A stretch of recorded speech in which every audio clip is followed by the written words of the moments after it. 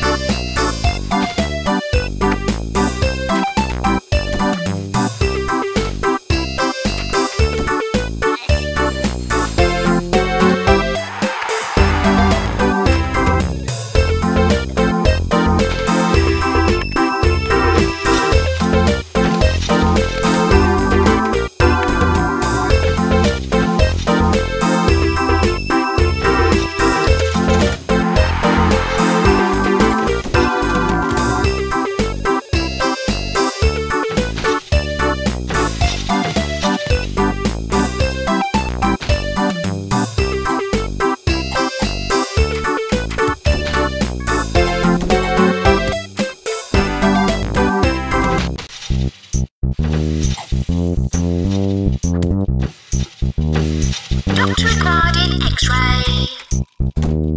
Doctor required in general